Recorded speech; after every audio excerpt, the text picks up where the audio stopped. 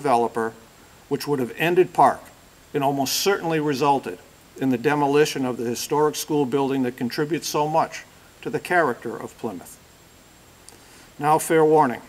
The next handful of slides will review the financial status and outlook for PARC.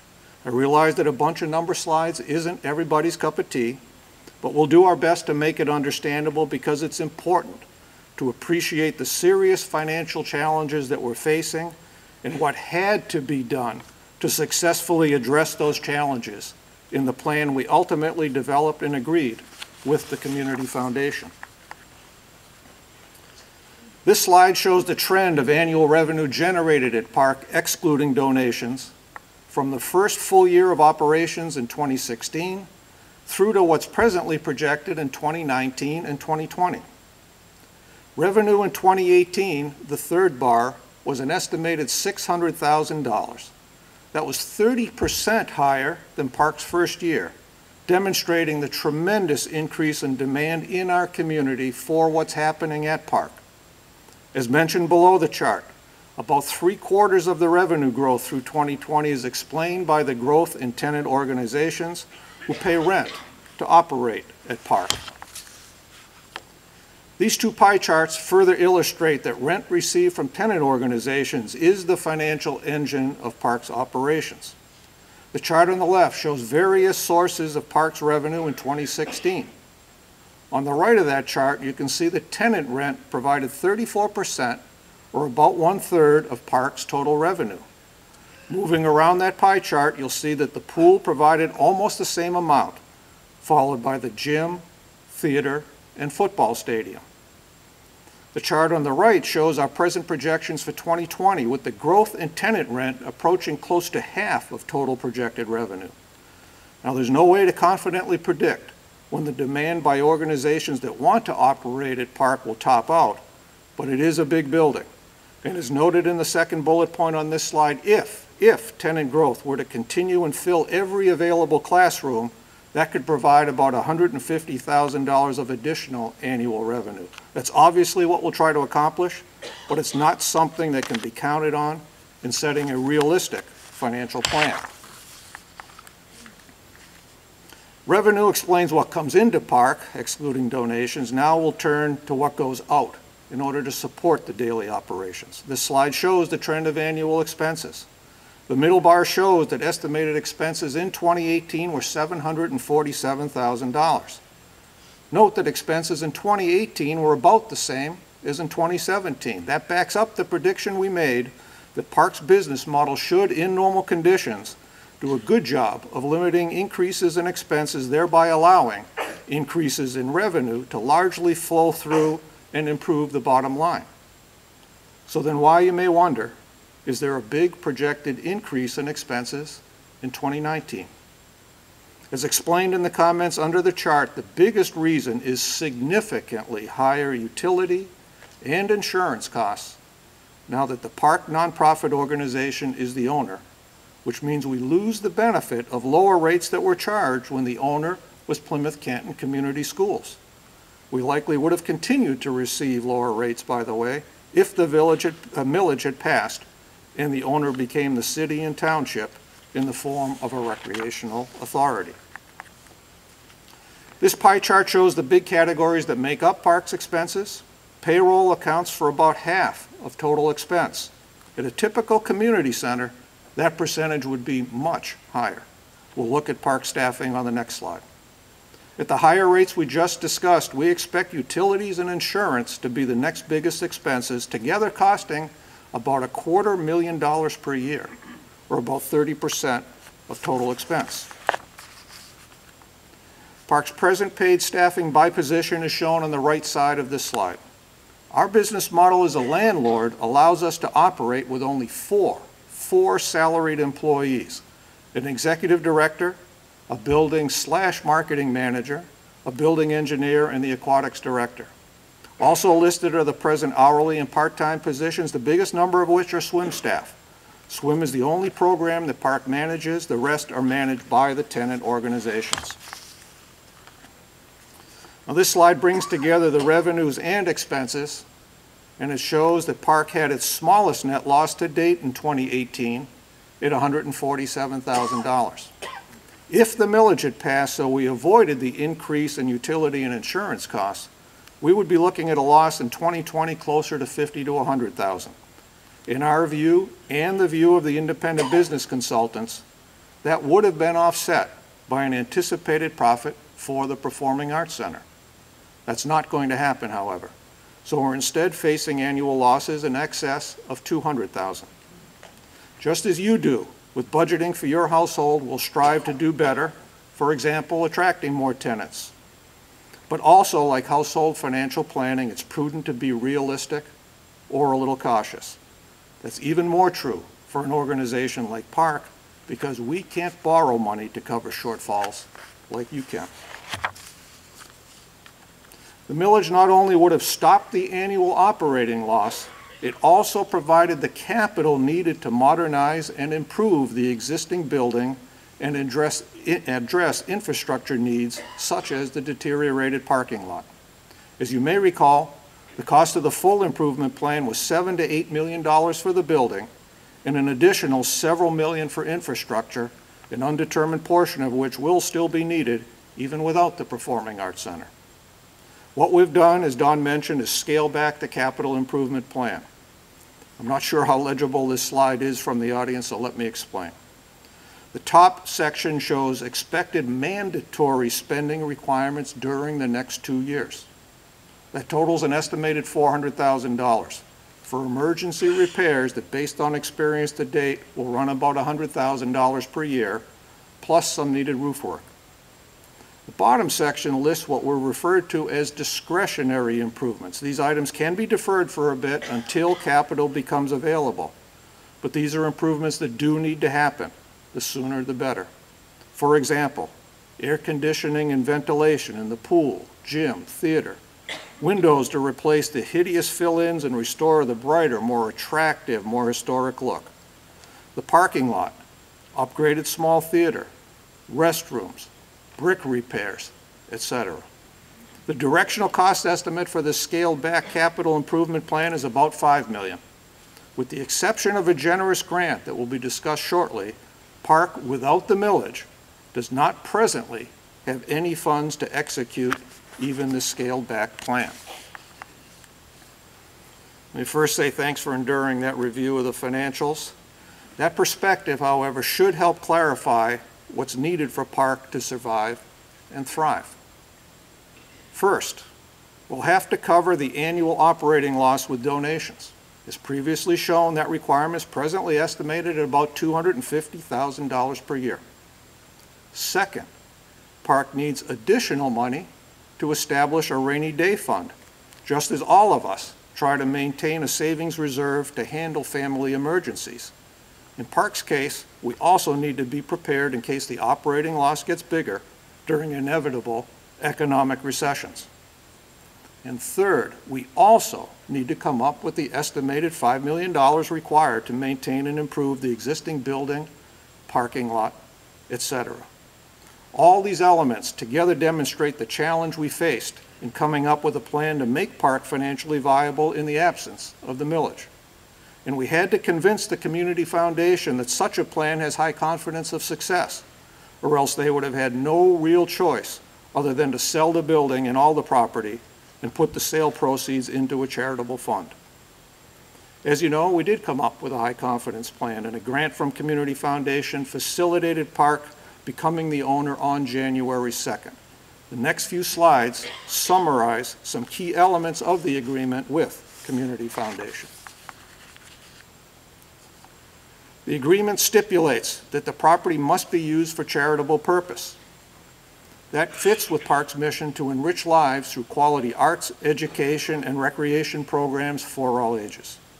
PARC must remain a 501c3 charitable organization, which basically means we're approved by the IRS as a charity for tax deduction purposes, and no individuals ever have or ever can benefit financially. As shown on the second point on this slide, the agreement requires, requires that the school building be historically preserved and remain historically significant forever. As it was with the post office, the main reason Patty and I first got involved was to try to save this irreplaceable piece of Plymouth history. So we are absolutely delighted that the largest historic building remaining in Plymouth will still be standing and serving the community long after we're gone. Community Foundation will not be involved in the operation of PARC. Through financial and operating ports, they will monitor to ensure we, remain financially solvent and stay true to our mission. If PARC fails at any point in the future, Community Foundation has the right to take back the building and property. Regarding the critical challenge of financial viability, we and the Community Foundation believe there should be enough donations from the public and foundations to cover the annual operating losses. Don will discuss donations in a bit. But that leaves PARC without funds for a rainy day fund or capital improvements, which led to the following difficult but essential part of the agreement. To be financially viable without the millage, PARC must either get a large donation to build the Performing Arts Center, which is theoretically possible, but highly unlikely, or we will have to sell the excess land is our only remaining way to get the funds needed to keep PARC alive. This site map may help clarify what we're referring to as the excess land, which is the shaded area outlined in red. To help with orientation, Adams Street is at the bottom of this map. Working up the shaded area of the slide, the land to be sold would roughly comprise the tennis courts, the practice field where the Performing Arts Center was planned, the football field and track, and the land between the Cultural Center and Miracle League that connects to Theodore Street. This is, of course, subject to refinement and normal city in the normal city review process. What would be retained for PARC would essentially be the existing building and existing parking lot. Now, it pains us to lose this space and, among other things, deprive Steelers football of their longtime home. But let's remember that this is the only practical way, the last resort, if you will, to save the existing building and PARC. Otherwise, we would be dealing with the even greater pain of losing everything. And who knows? Maybe some other good Samaritans, either individuals or a foundation, will step forward to buy the property and retain it as is or work with the city on a worthwhile community recreational or other purpose. That's obviously beyond our control, but we would love to see it happen. Now I'll turn it back to Don.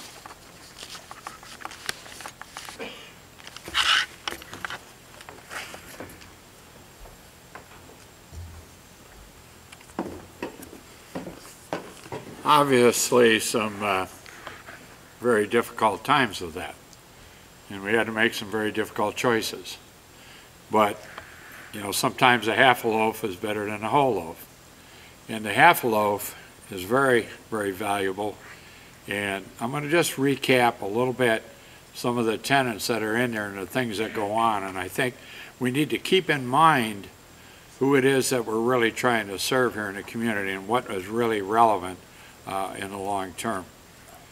We got three components. One is on the arts arena.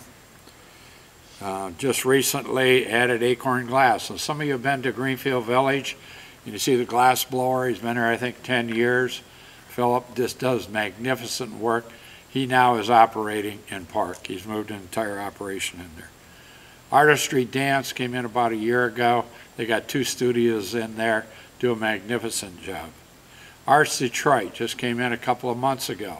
Arts Detroit is a very elite organization that coaches and trains the really elite talent, performing arts talent in our high schools in our immediate area. And the idea is to prepare them for a career in performing arts and to help them assist them in getting into the best universities to do that.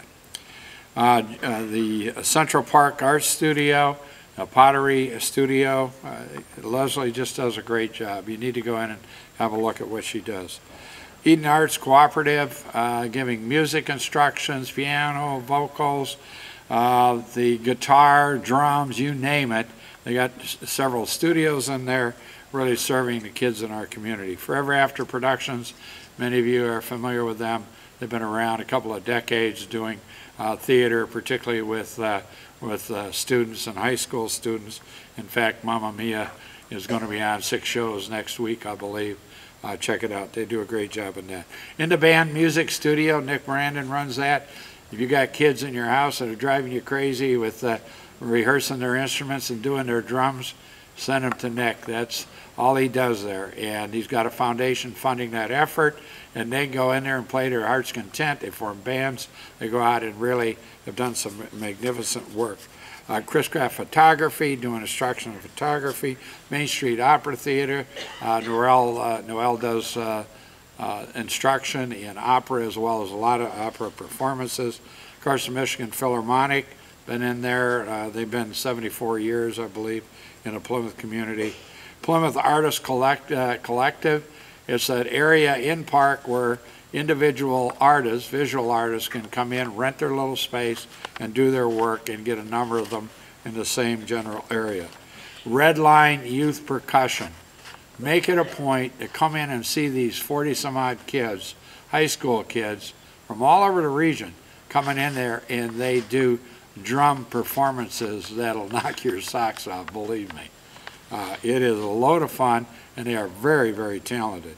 Tony Rocco, now internationally known, uh, is uh, an artist, visual artist, operates in there, also doing instructions for kids. And of course, Michigan Philharmonic Youth Orchestra with 130, 140 kids in it, um, are there all the time doing rehearsals every Tuesday night. Uh, Just a terrific organization. On the education arena, we now have bees, you've probably heard bees in the D, you know, beehives in downtown Detroit, putting them on tops of buildings. Well, now we have bees in the P, I guess. We'll have beehives, a couple of them on a roof uh, when springtime comes, so uh, we'll have beehives. Uh, College for Creative Studies, many of you are familiar with them. Uh, They just re-upped for another couple of years on their lease, doing a fantastic job the uh, only satellite operation for College for Creative Studies in their 115-year history outside Detroit. And they picked Plymouth and they picked PARC. And let me tell you, they are an asset to this community uh, beyond what most people can imagine. Friends of the Rouge moved in this past fall.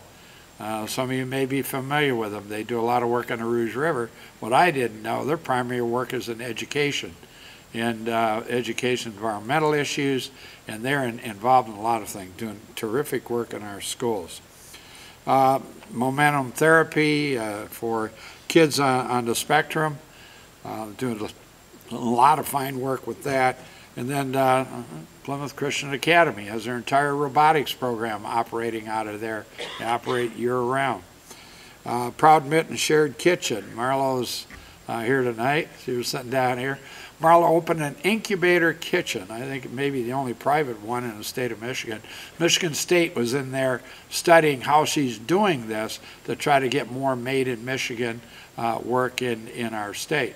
If you got, you think you got the best guacamole in the world and you want to get it into the store, come and see Marlo. She'll help you with all the legal stuff, health department, labeling, all of that. And she's had some very successful experiences uh, with some of the folks that have been in there. Uh, the Simple Kitchen, Kristen uh, does culinary arts classes. She's booked up, I think, for two months now. Just took off and doing a, a great job from kids seven years old to seniors and a whole variety of culinary arts. And now, just recently, the YMCA has teamed up with the PARC to offer preschool enrichment program for kids uh, three to five years of age. This is new too. And in spite of the fact of the millage and the uncertainty and everything else, we've had a lot of these organizations coming on board just trusting that somehow we'll find a way through this maze and they'll have a home there. Recreation, we got basketball leagues, the cruisers are there, a swim team. We have swimming classes for virtually from toddlers to seniors. And it's more cost effective than anywhere else you could go uh, for swimming instructors. Steelers are there, Our Lady of Good Counsel, both uh, doing football programs, Z Spot Fitness, a whole list of uh, fitness programs that are carried out there. Pickleball, I saw a few of you here that are pickleball fans. And Um, If you don't know, I won't get into it now. Social walking and a, a number of senior programs. But in order to keep this all going, and you can see, how could we, after two and a half, three years of being in this, being able to attract all of these organizations to PARC and the terrific service that they do for this community? We just have to find a way to keep this going. I mean, it's unconscionable, I think, that, that we would not be able to put together a plan that would keep them engaged and, and participating in our community. So that gets us to fundraising. And, you know, we got the land and, um, which is a great thing. And, uh, and uh, Ellen, maybe turn the lights on, thanks. But we need money. We need a bunch, of about seven, eight million dollars to do the renovations. And we, as Mark said, need about two hundred, two hundred fifty thousand dollars a year, uh, well off into the future until we can figure out how we might be able to minimize that. But we gotta raise a lot of money. And fortunately, very early on, well, even prior to the millage, we had some grants that were all subject to the millage. You know, none of these foundations want to put money into a project that they don't have confidence in is going to be funding. They want to write you a million dollar check and six months later the place is shut down. So there was some reluctance prior to the millage and we got some grants subject to the millage. One of those was the Wilcox Foundation. And I think the biggest, or one of the biggest grants the Wilcox Foundation has ever done was a million dollar, multi-year pledge to PARC. And I, I'd like to have uh, Dan Harriman come on up here. Dan's with the Wilcox Foundation on the board. And I think he ought to, we needed this uh, initiative early on in order to uh, get the attention of other foundations and the like. If the Wilcox Foundation says it's a go, there's a lot of other people out there that say, okay, they've done the due diligence. If they're in, maybe we can get in. So it's more, it's not just the amount of money, a million dollars is a big, a big number, but it is also the credibility it's brought to the project. Dan?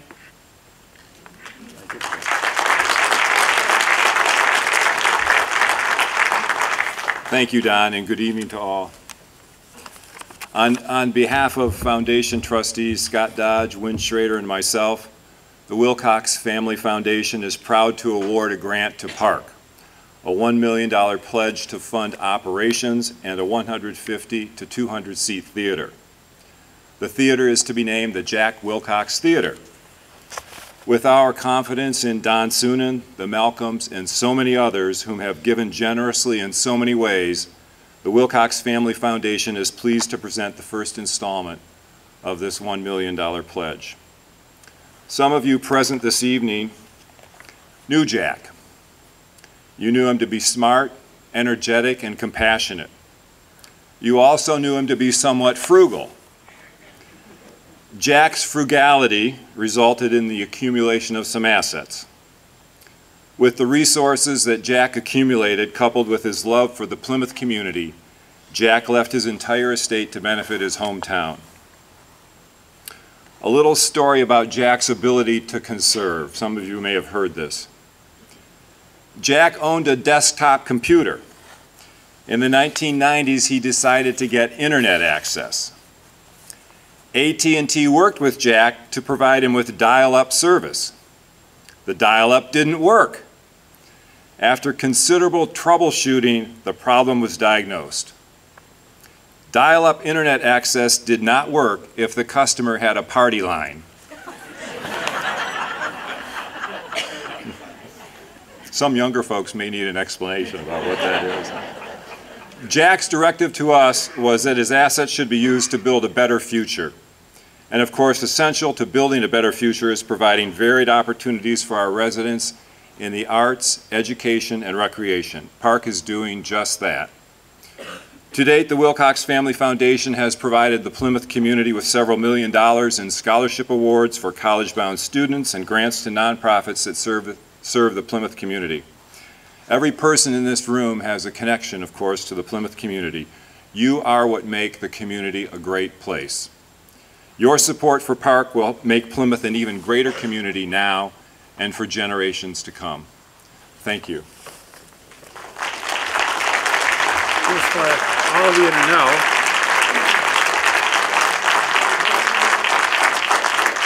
foundation uh, gave the first uh, $200, I guess they want us over here in the light.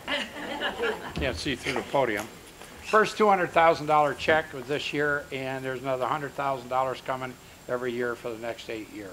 I mean, this is very, very much appreciative, and I appreciate it. And as I told you earlier, it's not only the money, it's the credibility it brings to the project. Answers a lot of questions for a lot of other people about whether PARC's the real deal and whether we can trust that this is going to go forward. They did a year of their due diligence on us before this uh, came about. So, Dan, we really, really appreciate and Dan was instrumental in that. Uh, Win Schrader, Dan, and Scott Dodge. And all three of them took a great deal of interest in this project. Thanks very much. Thank you, Jack Wilcox. Yeah.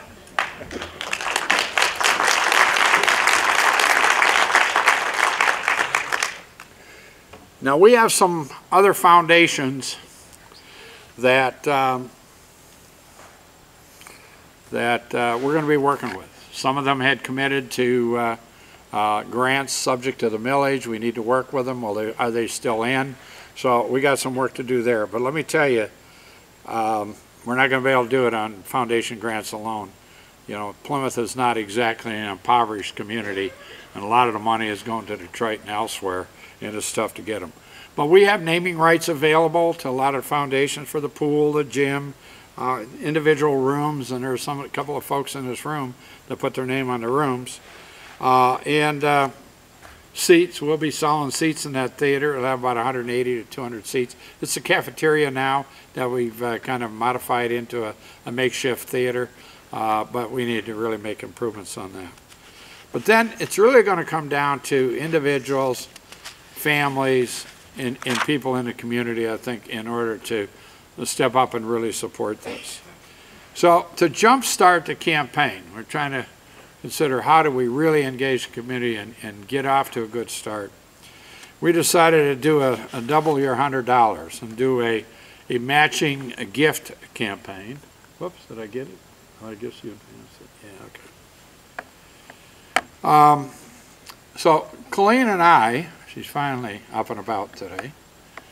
So she's probably going to be a little bit surprised about this. Didn't get a chance to talk to her. But she's usually a pretty good sport. Colleen and I will match the first hundred dollars anybody gives to this campaign, to the matching campaign, between uh, now and the end of February. So we got six weeks. So during that time, up to $100,000, we will match. So if you give $100, we'll match 100. If you give $1,000, we'll match 100. We want to spread this out and build a broad base. And as you came in, there, you got some cards that explain the program a little bit. Uh, and we would also, it, it's no uh, surprise how we came up with the $100. You probably figured that out. The $100 is what the millage would have cost the average homeowner in the city and the township. And so we're, what we're asking people to consider is if you voted for 9,000 voters voted for the PARC package. If you believe in it and you were willing to commit $100 a year for the next 20 years, would you also be willing to commit $100 per year to the PARC project? And on that card, you can commit multiple years and the like and how much you want. We are going to need your support, and there is no other way around it. I won't get into details on the card. I think it's self-explanatory. Uh, but, uh, you know, you can fill it out. I'd prefer you fill it out and drop it off tonight. It only takes a minute. Uh, you do have envelopes with it. You can mail them in, call the office, or go online, plymouthpark.com, and there's a donate button on there. You can do it there too. But with 9,000 voters voting yes, that's probably 4,500 households or so that voted for it. And if each household were to commit uh, the $100, that's $450,000 a year. And that would go a long way towards solving our problems when we get the community to do that. So I'd ask you to seriously consider that, and uh, it would be a huge help, obviously. But, you know, we're going to need more. We're going to need more help in bringing in more tenants. And if you know anybody that uh, might be looking for a space that's in arts, recreation, or education, we're limiting it to that, That's our mission. We're not gonna have banks in there, or real estate offices, or any of that. It's gonna be organization in the arts, recreation, education arena. Then volunteer. We need volunteers for virtually everything. I mean, we need some office volunteers. We do parking. We need 75, 80 to cover uh, art in the park. When we're doing parking on our lot, we make eight, nine thousand dollars uh, just parking cars, but it takes a lot of volunteers to do that. But we also need carpenters, plumbers, electricians, people that can do cement work, painting, uh, a whole variety of things that we're going to need help with over the years. And if you can volunteer and share with us your skill, um, then we can put together a body of talent in our community that we can draw on and minimize the costs that we have. Also, take advantage of the things that go on at PARC. Swimming classes, fitness classes, uh, show up for pickleball. I mean, it's all a good time. I think they're very, very well-run programs and very cost-effective. Also, attend events there. We've done 360 or so events in that theater over the last three and a half years. We got, I mentioned earlier, Forever After Productions has got Mamma Mia coming up next week. There'll be six shows. It'll sell out. Get your tickets early. They are great shows. $10 tickets in our immediate community. Uh, you have all kinds of parking at, uh, at PARC. That's not an issue. Uh, so uh, take advantage of what the place has to offer. In closing, you know, I just think we, I can't emphasize enough how much we really, really need the, the help and assistance from, from the community. We've cut it back to the bare minimum. I mean, Mark was telling you, showing you about $5 million. Well, we were looking at 10 to 12 million originally to do it, to really do it the way we wanted to, but, you know, now you got to cut it back. But we still need around $7 million on that project. And, uh, you know, the last thing we want, believe me, is to have to sell that property. You know, if there's another way around it, if anybody's got ideas, I'm telling you, we're all ears. I mean, we didn't get into this to have to sell it off, but, you know, we've got to do something to raise the money to save the school, or we're going to lose the whole thing. So, uh, you know, we don't, we don't have much choice in the matter. And we're going to need $200,000 a year to cover operating costs.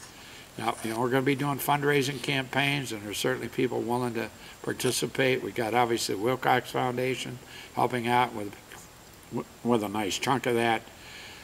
It, we've all benefited as citizens, uh, Plymouth residents and the city and the township and all the great work and the contributions people made prior to, to us coming along. I mean, Kellogg Park didn't just happen, right? And there's a lot of great things that go on. We got the museum, we got the library, we've got you know, a lot of great activities in this community, in McClumpha Park and the township and the like. This is an opportunity for all of us today in this community to have a major impact on this community for decades and decades to come. And I would challenge this, this city and the township to really come to, go to bat on this thing, and let's all put it together. Let's leave this place a better, a better place uh, than we found it. So join us in the campaign. I'm going to turn it back over to Mark. I think he's got a couple of comments he'd like to make, and thanks for coming. We will have a Q&A in a little bit.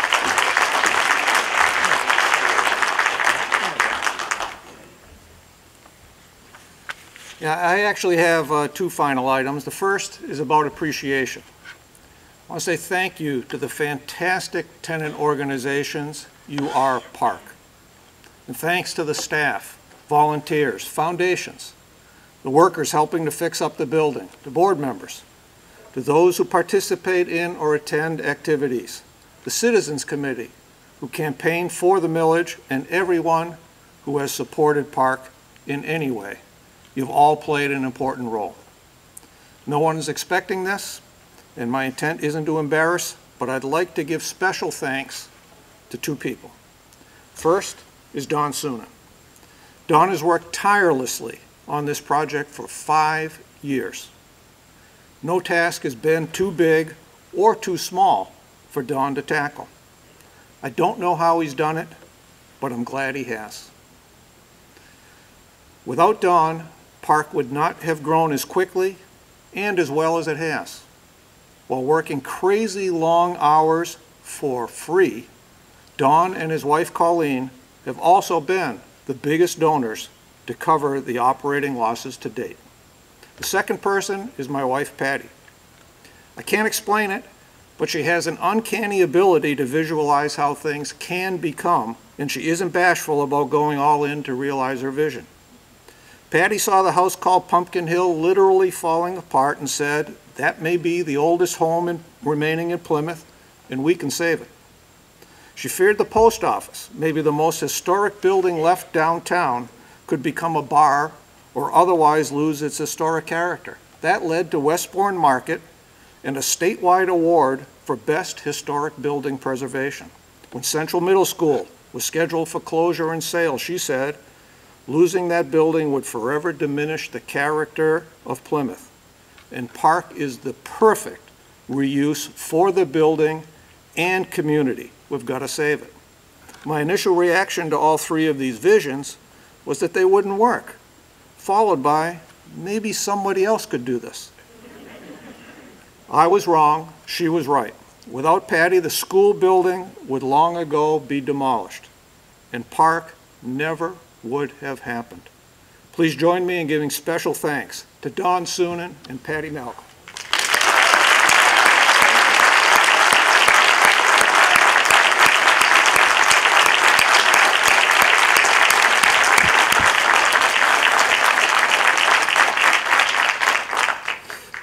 Going to get severely chastised when I get, get home, but uh, she earned it. Last thing I want to do is read a letter. It's dated November 7th, which was the day after the millage vote.